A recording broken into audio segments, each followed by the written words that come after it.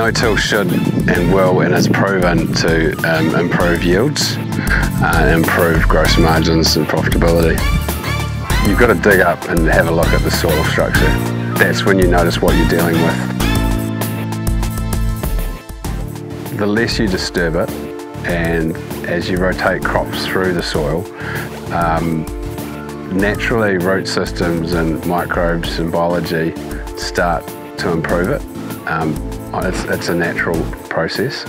You see the worm life, you see the biology, you see how um, it's porous, you see the uh, how um, it's not compacted.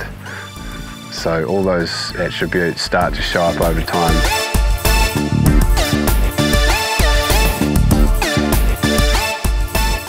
But it is, that is the goal, is um, to build every year on an, in a no-tillage system and, and see those incremental soil structure changes and improvements and improvements in yield.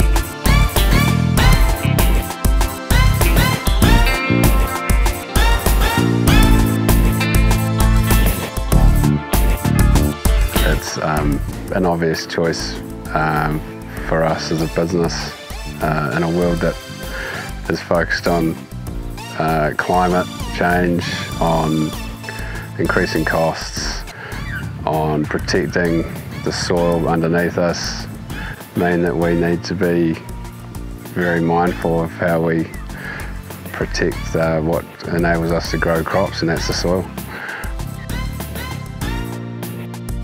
It's a very time efficient um, drill and no-till system because we're not having to go over the land multiple times burning diesel to cultivate and prep the seed bed. The idea is that in one pass this drill places the seed and the fertiliser in separate bands and gives it the best opportunity to establish. So you've got to be very particular about um, when you change to different crops that you're getting the depth and certain settings on the drill right. And once you've established that and once you um, can see it in the ground and you're happy, then drilling's the easy part.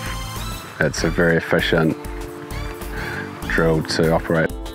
I, I was um, apprehensive of the Novag's row spacing being wider than typical drills used in New Zealand, but having seen the results uh, and the establishment this spring, uh, that's not, it's not an issue.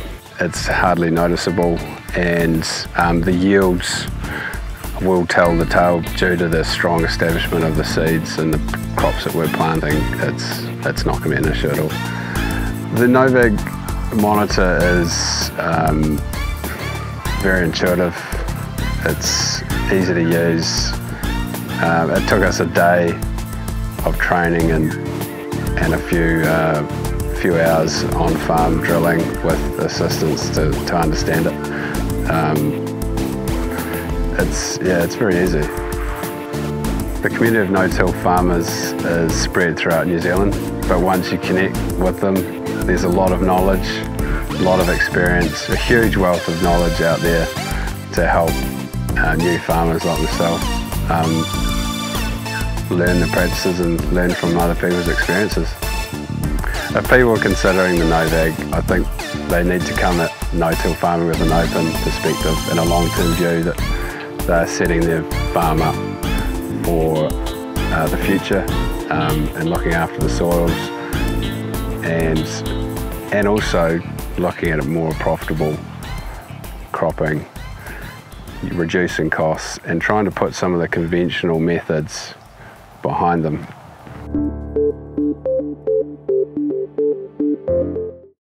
Carrfields, your trusted partner on the land.